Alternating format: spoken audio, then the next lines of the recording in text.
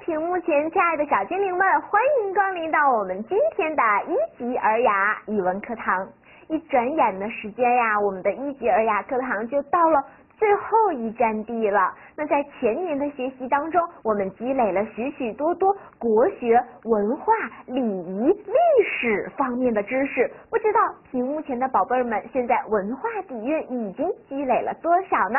那今天这一节课呀，糖果老师将带领我们屏幕前所有的小勇士，坐上最后的穿梭时光机，让我们一起去了解一下中华历史故事。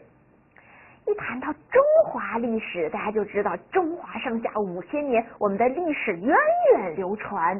那中华历史故事的这个其中啊，也有许许多多的精彩部分。而今天我们就围绕着四大系列展开分享。哎，屏幕前的宝贝们一定会发现，古人很喜欢四，比如说我们以前积累过四大名著。我们还说过什么呀？四大边塞诗人，包括还有四书五经，对吧？除此之外，还有什么四海龙王啊、四大美人呐等等。那今天我们就去一起聊一聊和四大美女相关的故事。一谈到美女，我们屏幕前的无论是大朋友们、小朋友们都很喜欢，对不对？为什么呢？因为有一句话说得好，叫做“爱美之心，人皆有之”。每个人都喜欢漂亮的，是不是？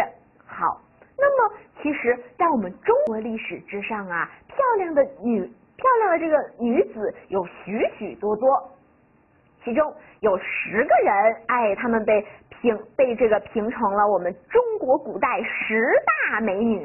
这十个人分别是沉鱼的西施。闭月的貂蝉，落雁的王昭君，羞花的杨贵妃，还有集三千宠爱于一身的冯小莲，一代妖精苏妲己，命运凄惨的赵飞燕，还有与西施比美的郑旦，千金一笑的褒姒，还有因为洛神赋而被传为洛神的甄氏。这十个女人都非常非常的美丽，而。最后又有四个人从他们十个人之间脱颖而出了，被我们后人所铭记住了。当然了，他们几个被后人铭记住，并不简简单单是因为他们长得漂亮。有朋友说，老师，那又因为什么呀？让我们一起去一探究竟。中国古代有四大美人，这四大美人，哎，当然大家都非常的熟悉了，她们就是沉鱼落雁、闭月羞花的沉鱼、西施、落雁、王昭君、闭月、杨贵妃，还有羞，还有谁呀？啊，闭月、貂蝉，还有羞花的杨贵妃。哎，孩子们，那么这四个人的背后究竟隐藏着什么样的秘密呢？让我们。一个一个去揭晓。首先，我们一起来了解了解这第一个人。哎，我们来看一看，这就是这一位美女，对不对？咱们来想象一下啊，如果我们现在去穿越到古代的时候，你就走到她的身边，我们来观察一下她在干嘛呢？孩子们，嗯，她好像是哎站在了这个溪边、小河边呀、溪水边，对不对？好，那么。它的前面还有一个篮子，篮子里可能换了这个这个放了一些衣裳，对不对？哎，古代的时候有一种职业叫做什么呀？浣纱女。西施她原本啊是一个普普通通的浣纱女，而正因为她长得非常非常的出众，有许多人见到她之后啊，哎都过目不忘，而且呢回到家中可能还被她的美貌而惊呆了。不仅仅人是这样的，就连他在这个小溪边呀浣纱的时候，哎，那么这个溪里的鱼儿看到了这么美的容貌，都光顾着看西施了，都忘了去干嘛呀？哎，自己去这个摆动自己的鱼鳍游动了，结果纷纷的沉入了水底。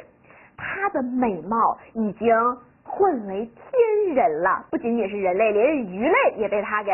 惊呆了，这就是传说中的小伙伴们都惊呆了，对吧？好，所以说这就是西施沉鱼的由来。哎，为什么有成语的代称？我们就知道了，你会发现很有意思，很有趣。那其实它又和历史有什么关系呢？有同学说，嗯，不太知道。哎，如果呢，你对历史有一些最基本的自己的了解的话，你就一定会发现，这个女人她可不简单。这就要从我们中国古代的一个非常非常特殊的时期——春秋战国时期说起了。大家都知道，春秋战国时期那个时候，上节课老师讲了，还没有一个统一的皇帝，各路诸侯争王争霸，对吧？那当时就有两国，其中一国叫吴国，一国叫越国。那这两国的国王呢，就是吴国的夫差和越国的勾践。哎，一谈到勾践，你一定知道了，我们以前听过一个成语叫做卧薪尝胆。唐国老师在畅想课程当中也讲过，还给大家放过动画《卧薪尝胆》这个动画，对不对？好，那么呃，为为什么勾践会卧薪尝胆呢？就是因为在这之前的时候，吴国和越国他们两个去斗争，对吧？哎，打仗，结果这个时候呢，哎，很显然就是越国战败了，于是越国的勾践还有他的谋臣范蠡就一起被做成了人质，哎。哎，不是，不是我们之前的那个把手和脚都砍掉的人质啊，就被干嘛呀？哎，做成了人质之后，押回了吴国。押回吴国之后呢，一开始夫差还会派人去看着他们，对不对？哎，因为你们毕竟是人质。可是后来，哎，越王勾践呢，他就非常非常的心思缜密，在吴王的身边呀，表现的非常非常的忠心。有一次，吴王呀生了病。闹肚子，肚子很疼，结果这个时候呢，就把医生找来给吴王看病。医生哎，号了号脉，就发现诊不出什么病来。吴王没有什么病，结果这个时候越王勾践他做出来了一个惊人之举，就是他竟然品尝了一下吴王的大便，而这时候品尝完了之后，哎，他就很淡定的对吴王说。没事儿，是这两天着凉了，哎，那么你再这个多喝一点热热酒啊，热水就好了。结果没想到吴王呢，真的是按照他的这个他的这个吩咐去做，他的提议去做，没想到过了几天病就好了。就是这一件事儿，让吴王觉得这勾践对他太够意思了，太忠心了，连我的粪便都不嫌弃。于是呢，这心一软，就放越王勾践回了越国。这一放。可了不得了！越王勾践到越国之后，那么范蠡就给他提了三个建议。我们来看看哪三个建议。第一个建议，让他回国了之后，以前不是战败了吗？现在可不能气馁，一定要开始屯兵，加紧练武。那么在加紧练武的过程当中，在这整个去发展壮大国家的这个过程当中啊，我们就会发现，这个越王他不可能说一天努力。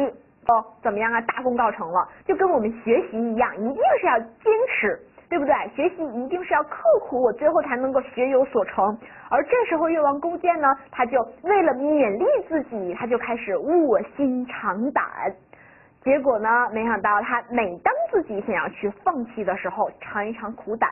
对吧？而且回到了越国之后，他还躺在柴心就是柴火，对吧？还躺在那个呃柴火堆上睡觉，而且呢，还每天品尝着苦胆，躺在柴火堆上，就为了让让自己铭记住这种日子。而在这样的环境之下，他越来越刻苦，每天都想着我要让自己的国家变得非常非常壮大。那第二个建议呢，就是要让他屯田，发展农业。这是百姓们的什么呀？糊口的本事，对不对？那第三个就是采取了三十六计之一美人计，让这个勾践呢选出来了一位美女，把这位美女啊要送给吴王作为内线，表面上好像是为了把美女献给吴王，感谢你。其实实际上呢，是为了让这个美女做眼线。当时他们就在全国哎开始这个来这个寻找合适的美女，结果没想到就把我们的四大美女之一西施这位浣纱女找到了。找到了之后，他们把自己的计划跟西施说了之后，西施呢，他非常的深明大义。当时他觉得，虽然他自己呀不想去哎远嫁他国，而且呢也不想去这个以身相许去嫁给，也也不能说嫁给，去把他献给吴王，但是为了国家，他竟然答应了。而且呢，哎，我们就会发现这个还有许许多多的传说，其实西施和范蠡他们两个感情是非常要好的。可是西施、范蠡他们两个现在呢，并不是顾及儿女私情的时候，西施就这样被勾践献给了吴王夫差。结果由于西施太美了，鱼儿见到她都惊呆了，更何况人呢？那他到了吴王身边之后呢，吴王就每天都都想和西施玩乐，根本无心于朝政了。没想到没过多久，他的国道就衰落了。最后，勾践呢就趁着他国道衰落之际，把他一举攻破。这就是非常非常著名的史上吴越两国之间的。较量，那么西施呢？哎，她也是用美人计来救国。当然了，这个计谋就是我们的谋臣范蠡出的，非常有智慧的一个人物，对不对？好了。那么刚才和我们大家一起去分享了和西施相关的这一部分历史，我们也会发现，原来她并并不仅仅是长得漂亮，她可能还有许许多多的过人之处。那屏幕前的宝贝们，现在你来想一想，如果你是一个非常非常美丽的女孩子，那这个时候呢，要让你为国献身，你又会不会像西施一样呢？好，孩子们，那又有的同学八卦一下了，说老师啊，那西施这么美丽的姑娘，她最后的结局是什么呀？让我们一起来看看西施的结局，有好多好多个传说。那么啊，我们不用全了解，老师给大家分享两三个啊。第一个呢是愧疚，愧疚干嘛呀？就是由于他觉得夫差对他很好，但是呢，他却哎这个为了自己的这个越国而干嘛呀？哎而这个现可可以说是算计了夫差，自己呢非常的自责，于是呢就自刎了。哎，我们就会发现这个时候他就自杀了。第二种呢是被范蠡带走了。被范，因为老师刚才说他本身传说当中，西施和范蠡呢，他们就是一对，感情非常好。哎，以前苏轼写了一首诗，苏东坡说五湖问道扁舟归去，哎，乃携西子，就是说呢，他们携一叶扁舟开始干嘛呀？哎，这个逃，这个逃亡了之后呢，就开始了以后的自在生活。还有呢，一种说法就是被范蠡沉湖了，因为西施回国了之后，越王勾践也觉得西施漂亮，于是呢就想把西施呢纳纳为这个自己的人，哎，想把西施给这个干嘛呀，占为己有。结果范蠡当时说，吴王勾践这国吴国是怎么灭的，你不知道吗？你现在还敢走人家的老路？好，那么他就狠下了心，想了一个办法，带西施出去的时候，把西施给。沉湖了，对吧？哎，推到湖里了，所以我们就会发现西施她的结局其实还是充满神秘色彩的。有兴趣的孩子，一会儿下课之前，老师给大家推荐一本书，我们可以去自己探索，好不好？OK，刚才我们分享的是第一位美女，也就是沉鱼的西施。那么接下来，让我们再来看一看第二位美女又是谁呢？有沉鱼，那么接下来就有落雁。对不对？接下来我们要分享的这个人就是王昭君，这是一个非常富有传奇色彩的人物，而在他的背后呢，也有许许多多的奇妙的小故事，让我们一起先来一探究竟。那么王昭君呢，他所在的这一个时期，我们就会发现，哎，这个中原与匈奴之间，他们呢长时间的动乱不堪。而这样的动乱对于中原来说啊，那是非常非常大的一些威胁。匈奴的这些首领呢，他们也都非常英勇善战，于是他们总会侵略中原。那这时候呢，哎，这个匈奴那边呢，他们中间正好发生了一些岔头，于是匈奴的首领某一日，对吧，就起了一个这个主意，就是说，你能不能把你们国家的这个公主？嫁给我们匈奴首领，那这样呢，我们两国这个两方啊就一和亲，我们就成了亲亲家了，亲人了，对不对？那这就是非常非常著名的，在历史之上很常见的和亲计划。那这时候我们就会发现，这个皇帝啊可不太愿意。为什么呀？因为他根本不舍得让自己的女儿嫁到匈奴那边。传说当中，匈奴他们所在的地方啊是蛮荒之地，既寒冷，那些人们呢又很野蛮，所以说呢，当时的这个这个皇帝的公主们谁也不爱去。结果呢，这时候就有一个人，哎，这个人呢，他早在很长很长之前就进宫了。这个人呢，就是王昭君。那王昭君她在很长时间之前呀就已经进宫了，被献给了皇帝。可是当时皇帝一次都没有召见过他。我们知道，在古代的时候啊，这个这个宫殿非常的大，那皇帝后宫佳丽三千，而皇帝呢，他这个每次可能就就有许许多多的一些女子进宫了之后，那皇帝呢就会选择一些自己喜欢的人，然后去给他去许许多多的宠爱。可是。皇帝呢，由于他只有一个人，而美女有那么多，他自己一个人不可能每天都亲眼看。当时呢，就想了一个办法，就说：“你看这一次选拔的美女有这么多，对不对？你让我一个一个看，我还要不要处理朝政了呀？给我们画像吧。”于是他就请来了当时在皇宫当中非常非常有威望的著名的一个画家，这让他给他给这些女子画像。那么在画下的画像的过程当中呢？有一位画家就被我们后人所铭记住了，这个人呢就是毛延寿。毛延寿他的画工非常了得，传说中他画艺神通，就是他的画呀就像通了神，就像通了这个神灵一样，对吧？那汉武帝呢，就是我们刚才说的那个汉帝皇帝，对吧？最后呢，枉杀之，有人说冤枉了他，就把他给杀掉了，那是什么意思呀？那就是因为啊，当时这个王昭君她在一进宫的时候，不就要给给皇帝画像了吗？那么有好多的姑娘，这个时候就等待着这个毛延寿给他们画像，哎，一个一个可能都做好了，让他们摆各种的 pose，对吧？那结果这时候毛延寿他一个一个给大家画像。那有许多的女子，她相貌平平，为了想要让皇帝记住自己，哎，那么他们可能就会想一些歪门邪道来贿赂画师，哎，那高则当时的十万两银子，少则也得五万两银子，哎，就给这个毛延寿。那据说当时啊，送银子的这些人呢，毛延寿都把他把他们画的很漂亮，而王昭君她自己本身，哎，就。自视清高，觉得自己那么漂亮，我还用像他们一样这个送礼吗？他不屑于干这样的事儿。结果传说当中啊，哎，王昭君什么都没有做，自己呢，哎，可能貌似摆摆出一副比较骄傲的架势。那王延寿呢，看到他之后，就会发现你长得没有什么了不起啊，对不对？竟然不把我放在眼里，人家都给我送礼，你一点表示都没有。于是当时一气之下呢，就拿起画完了之后，拿起笔来在他的脸上点了一颗痣。